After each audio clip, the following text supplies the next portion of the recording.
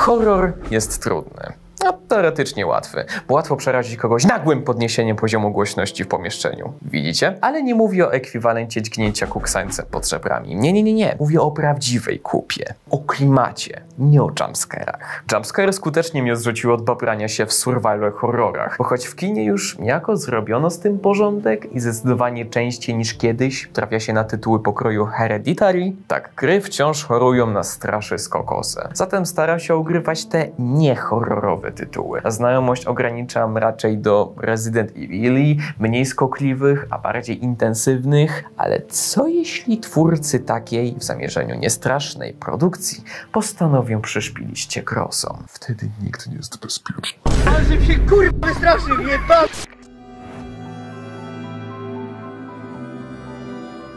Różnorodność jest ważna w zachowaniu świeżości, stąd te nagłe zmiany nastrojów w grach. Gdy ciągle opiera się akcja na jednym miejscu, czy nawet na jednej czynności, łatwo popaść w snużenie, a ze znużenia przejść we frustrację. Czego wybitnym przykładem i horroru w niehorrorze, i wściekłości z marazmu jest pierwsza część przygód potomka Francisa Drake'a, którego podobno zamordowały mutanty konkwistadorzy. Uncharted nie zajęło długo zaskarbienie sobie sympatii graczy. No, wystarczyło poczekać dwa lata na drugą część, a i tak zestawienie ze sobą jedynki i dwójki wywołuje wrażenie, jakby minęło co najmniej kilkadziesiąt lat ewolucji. Fortuna Drake'a bowiem to zagranizowany żart o tym, jak poszukiwacz skarbu wchodzi do nieodkrytej świątyni starożytnej, a tam karabin i amunicja. Dla Naughty Dog był to debiut w tworzeniu strzelanek TPP, co czudzi widać na każdym kroku. Od absurdalnego wsadzania Neithana do aren, bo inaczej się tego nazwać nie da, i nasyłania na niego wrogów z przodu, potem z tyłu, potem z przodu, potem znowu z tyłu, do lokacji, które przez opieranie się na jednej tylko dżungli szybko zaczynają nudzić. Jedynie postaci, już w tej odsłonie stanowiące serce całości, ratują tę toporność. A no i potwory w łodzi podwodnej. Chwila, co? Zupełnie znikąd Drake's Fortune porzuca konwencję luźnego kina przygodowego w stylu takiej mumii z Brendanem Fraserem i nagle każe ci iść do starego bunkra przywrócić zasilanie. A tam, żeby nie było za nudno, dlaczego by nie, mutanci. Ludzie przemienieni przez zarażoną wirusem mumię. Hits home, right? Przed tym poziomem spotykamy je jako przeobrażonych hiszpańskich konkwistadorów. Tu w bunkrze mamy już do czynienia z samymi nazistami, bo nie tylko Hiszpanie pragnęli skupnąć nieco tutejszego skarbu, co niespodziewanie zamienia fortunę w dziwny spin-off Wolfensteina, żeby nie powiedzieć Wolfensteina w domu. Staramy się nie pogubić w tym gąszczu metalowych korytarzy i rur, znaleźć te cholerne zawory w końcu. I jednocześnie musimy odpierać zastępy bestii, pomimo tego, że urozmaicenie stanowi to kapitalne a nagła zmiana scenerii i klimatu stawia cię wręcz na baczność, rozgrywka w ogóle się nie zmienia. Wciąż spamujemy nabojami, a że mutanci są gąbkami na nie, spamujemy podwójnie. Prędko to zamienia intrygującą scenerię w mozolną próbę nieprzechodzenia ponownie tego debilnego checkpointu, bo już tak blisko!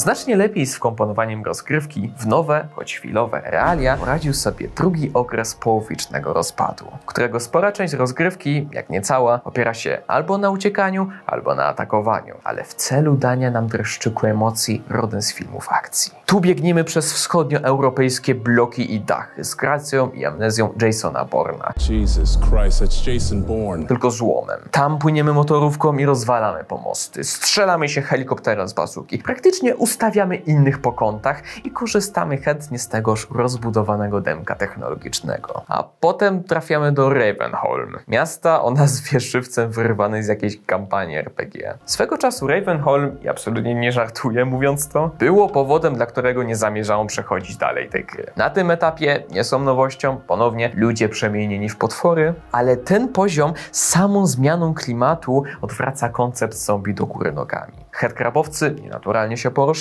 zadają nam obrażenia, nic nowego i zachowują na tyle odpowiednią dozę człowieczeństwa, by nie chcieć robić im krzywdy. Bo widzisz, że pod tymi gwizdami kryją się nieświadomi, biedni, przerażeni ludzie. Co jest dodatkowo spotęgowane, gdy wie się, iż po puszczeniu ich jęków od tyłu niemilcy okazują się tak naprawdę błagać o pomoc.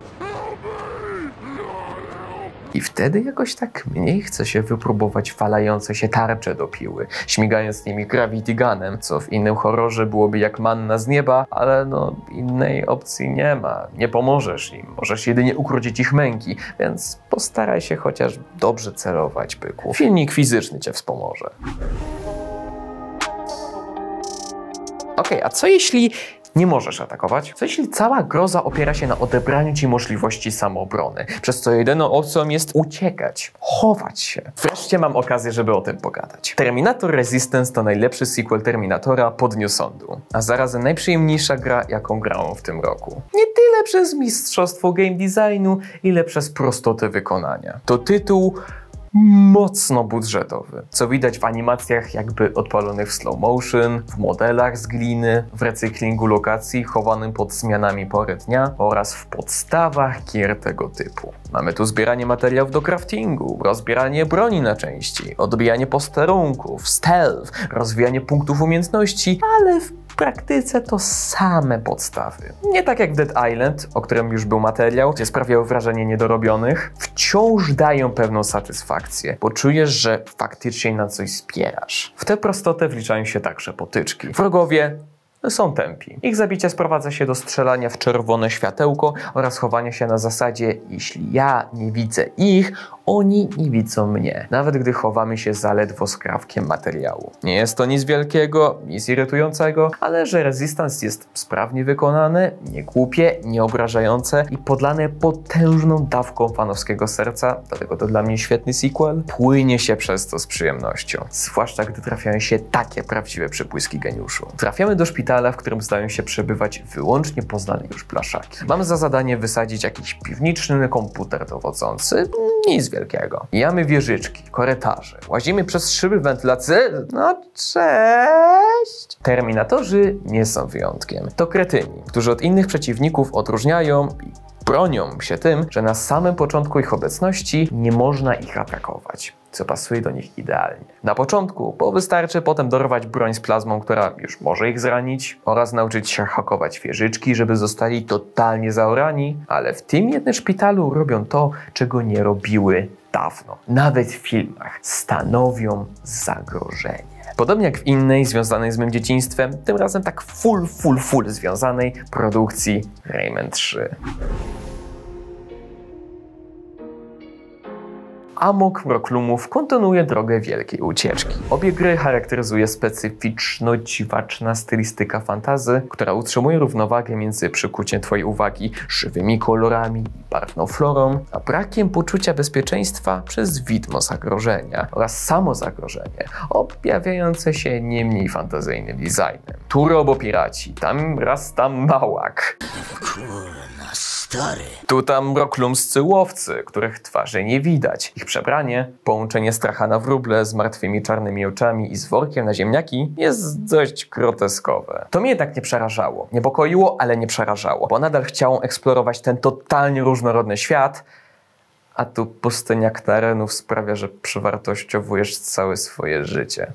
Choć gra oferuje nam puszki z krótkotrwałymi zdolnościami, pięść tornado, kopterek, rękawiczki, i rakietownice tutaj nie służą nam do walki. Knareni to skurwysyni matki natury, których możemy jedynie unikać. Kurze szpony, potężne dłonie i cieniutkie kończyny. Przerażające. Gdy teraz, po latach, patrzę się na ich gęby, to mnie bawią, gdyż ich wykrzywione usta zdają się sugerować, że tego ranka walnęli stopą w róg szafki i do tej pory mnie przeszło, ale w połączeniu z całą stylistyką z Marsa, oświetleniem z piekła i koniecznością chowania się przed tymi gnidami, nie chcesz im tego dnia pogarszać. W równym stopniu co mnie dzień i życie pogarsza świadomość, że Marfi nas cholera okłamał. Do zobaczenia w Raymanie czwórce! Zamknij się, ty du... Ale nie tak uszukańczy, co strach na wróble w Batman Arkham Asylum. Kurde, jakie ja powiązania mam. Powinnam robić polityce.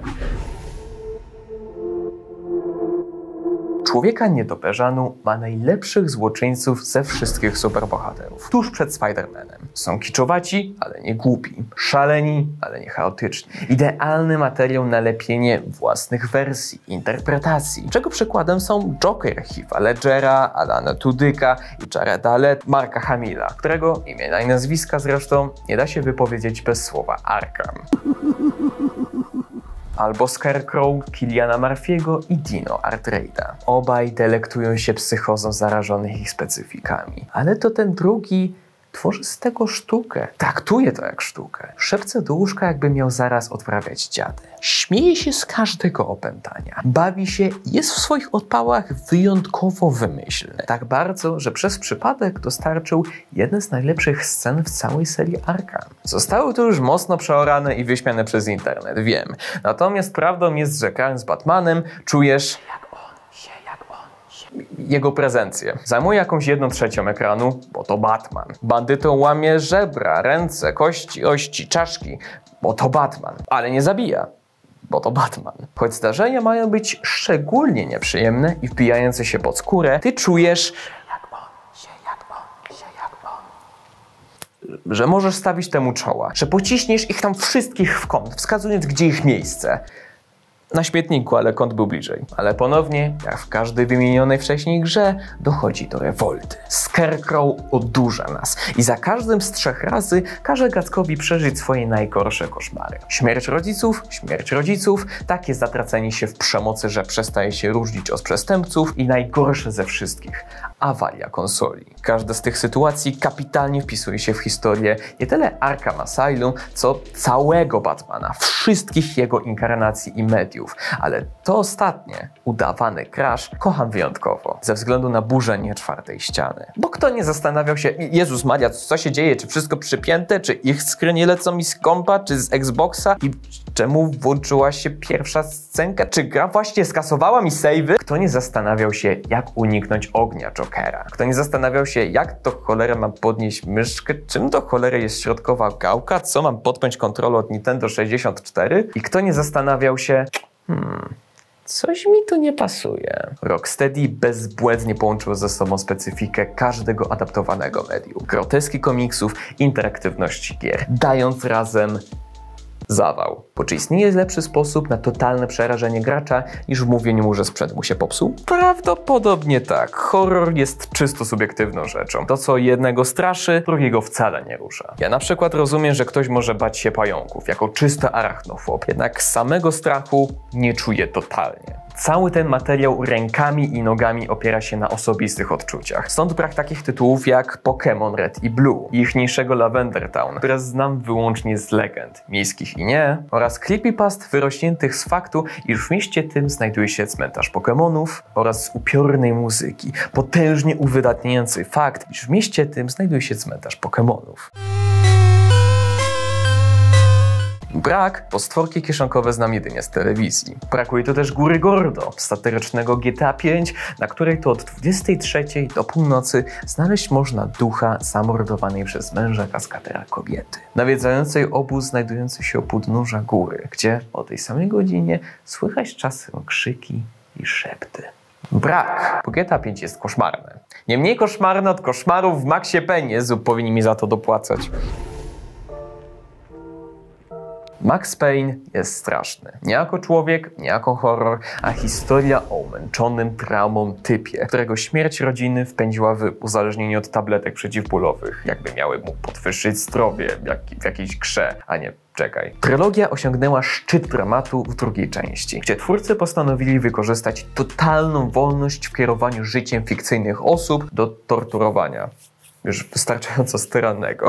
Narracja jedynki zbytnio zbaczała w kiczowaty klimat dawnego kina noir, kryminałów ogółem, aby można było traktować ją stuprocentowo poważnie. A i przecież trzon rozgrywki opierał się na zwolnionym rzucaniu się na wszystkie strony, jak w filmach Johna Woo czy w Matrixie, czy efektownych strzelaninach, jak w filmach Johna Woo czy w Matrixie. Zaś sam Max wyglądał jak ja, kiedy patrzę na siebie w lustrze. Dopiero gęsty jak śmietana wymieszana z cementem klimat obskurnych hoteli oraz mrożącej krew w żyłach i wodę w stawach najgorszej śnieżycy w historii Nowego Jorku ściągał cię na ziemię i przypominał, po co tu tak naprawdę jesteś? Czemu Max to robi? W jakie bagno on wpadł? A wtedy rzucane nam w nos hordy przeciwników, zwłaszcza w tym cholernym wieżowcu, zamiast być po prostu mięsem armatnim, zmieniały się w dowód na to, że Max Payne nie ma nic do stracenia. Poważniejsza dwójka bardziej podkreślała tragedię życia Maxa, tego, że jest ono skazane na wieczne cierpienie, samotność i niemożność pogodzenia się ze śmiercią żony i dziecka. Kiedy jedynka, zwłaszcza wątek narkotyku Valkyria, wywołującego wrażenie jakby dostało się supermocy, nie bała się pójść w przesadę, czyniąc z produkcji intensywny akcyjniak, który w formie filmu byłby hitem w wypożyczalniach lub co najwyżej kult klasikiem. Był w tymże akcyjniaku pewien konkretny moment, który do dzisiaj budzi we mnie pewne konkretne wspomnienie. Jest rok 2017. Cała galia drży pod jarzmem Rzymian. Do któregoś numeru CD Action, jak ten czas leci, dołączono pierwszą część Maxa. Miesiąc później czytelnicy dostają sequel. Jeden 16-letni wypierdek kupuje ten numer, zachęcony nadrobieniem klasyki. Max, jako jedna z jego pierwszych gier, daje mu wycisk i nie odpuszcza. Masz przejść i nie płakać. Zemsta jest do zrobienia, tak? A poziom trudności, klimat, wtedy jeszcze dziwacznie prowadzona fabuła wciągają tak, że okrywa całość w ciągu trzech wieczorów. I którejś z tychże nocy, ciemno w pokoju, jedyne źródło światła to to monitora, nawiedza go koszmar. Maxa koszmar. Policjantowi śni się noc, w której znalazł zwłoki swojego dziecka i żony, a my także przeżywamy ją na nowo. To jeden z pierwszych poziomów. Tylko, że twórcy Hamy Buraki znakomicie odtworzyli specyfikę snu, rozciągającego śnioną rzecz do granic możliwości. Także wyprawa do feralnego pokoju, zajmująca pierwotnie chwilę, tu nie chce się skończyć. Odwleka się nieuniknione. Wiemy po przerażających, zapętlonych krzykach i płaczach rodziny Maxa, co zobaczymy po dojściu na miejsce, a i tak ma się nadzieję, nadzieję, a może tym razem, skoro to tyle trwa, to na końcu będzie coś dobrego, co nie? Niestety nie. Dziecko, jak było martwe, tak jest nadal. Klocki obok łóżeczka układają się w napis dead, a żona ponownie nadaje znaku życia. Cały ten trud w próbie znalezienia wyjścia z labiryntu i przejścia po tej cienkiej ścieżce, której po dziś dzień nienawidzę, tylko po to, aby nie wynieść z tego żadnej satysfakcji. Jedynie ból totalny. A ten 16-letni dziabąg był przerażony, zdesperowany i zasmucony, ale i absolutnie unieśmielony. A tym 16-letnim dziabągiem był Albert Einstein. Napiszcie w komentarzach, który straszny moment w niestrasznej grze najbardziej wbił się Wam w pamięć i miłego Halloween.